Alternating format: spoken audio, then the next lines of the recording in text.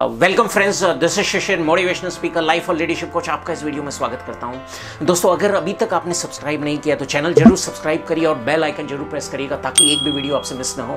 Uh, दोस्तों ये अभी तक का मेरा सबसे छोटा वीडियो है पर बिलीव मी बहुत गहरा वीडियो है और इसमें मैं मोड्स ऑफ़ लिविंग पर बात करना चाहूँगा। Survive retrieve thrive I repeat survive retrieve thrive ये क्या है? दोस्तों ये मोड्स ऑफ़ लिविंग है। मोड्स ऑफ़ लिविंग मतलब हम हर दिन किस मोड में जीते हैं? इन इन तीनों को अगर हमें समझना है तो हमें टाइम एंड एनर्जी को समझना होगा। हम सबने सुना है हम सबने सुना है कि time is money time is money but मैं नहीं मानता हूँ माना कि money is valuable but time is invaluable जो पैसा है वो मूल्यवान है पर समय बहुमूल्यवान है।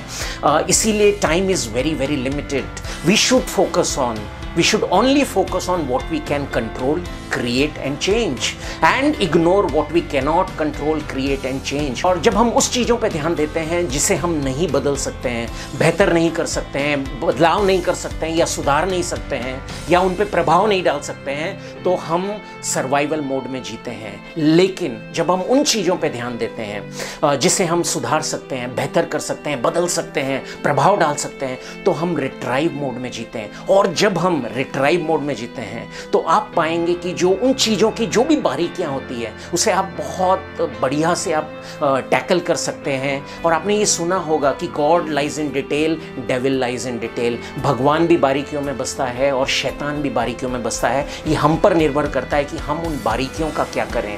जब हम उन चीज़ों पर ध्यान देते हैं, जिसे जिसे हम कंट्रोल कर सकते हैं क्रिएट कर सकते हैं और चेंज कर सकते हैं तो हम धीरे धीरे उन बारीकियों को समझने लगते हैं, जिससे हम थ्राइव करने लगते हैं थ्राइव मोड में आते हैं और उस मोड में हमें सफलता मिलती है।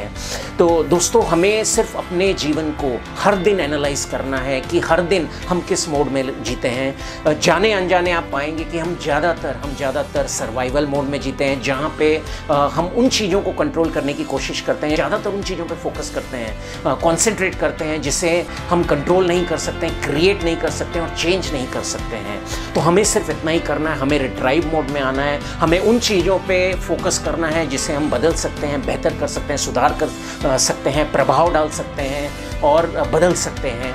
और हम धीरे धीरे पाएँगे कि सफलता हमारे कदम चूमती है। दोस्तों, ये अगर वीडियो आपको अच्छा लगा हो तो इसे ज़रूर शेयर करिएगा, लाइक करिएगा, कमेंट करिएगा और सब्सक्राइब करने के बाद बेल आइकन ज़रूर प्रेस करिएगा। Thank you thank you for watching this video. धन्यवाद। Thank you.